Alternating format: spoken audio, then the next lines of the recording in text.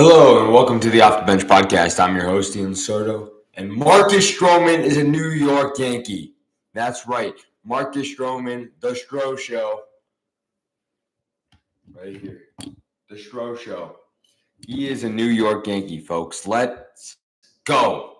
Let's go. Yankees are back. The Evil Empire is back, baby. Let's go. All right. So now we got Marcus Stroman. We got Gerrit Cole, Carlos Rodon, Nestor Cortes, Clarke Schmidt.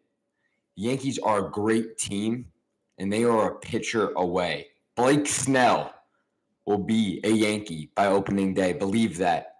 Yankees fans believe that. Marcus Stroman, he had a 3.95 ERA last year with the Cubs. He was an all star, 32 year old. Uh, he signed a two year deal with the Yankees, I believe, for 36 million, I want to say.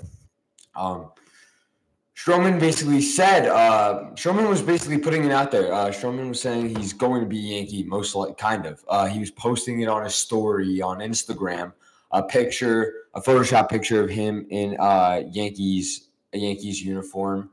Um, he and he also posted a picture of him in a Yankees jacket when he was a, when he was a kid.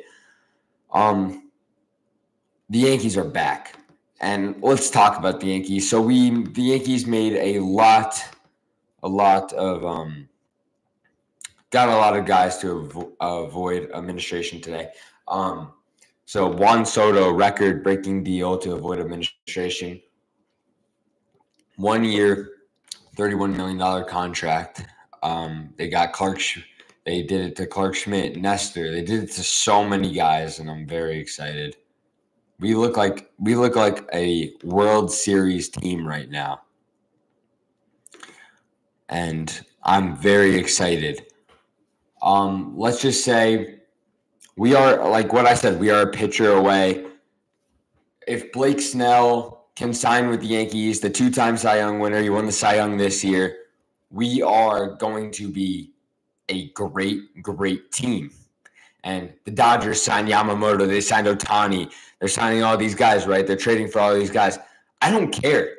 Are they in the American League? No, they're not.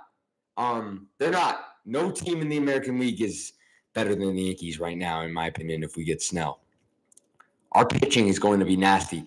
And I keep forgetting we have Carlos Rodon. He was one of the best pitchers in 2022. He had a terrible year last year, a lot of injuries. Had a bad year, but still, we still have a great arm. He's a lefty who throws the ball hard and he gets a lot of strikeouts. He had a 2.56 ERA or some shit in 2022. If he has a bounce back year, Nestor has a bounce back year like the year he had in 2022, what? How is someone going to stop this team? This rotation. We have the Cy Young Gerrit Cole. We could get the Cy Young Blake Snell. We get Marcus Stroman. He's a baller. He's a beast. He's going to fit perfectly in New York. He is going to fit perfectly in the Bronx.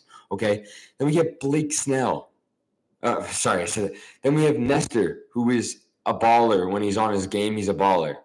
And then Carlos Rodon, strikeout king. He's a beast too. We have a really good team.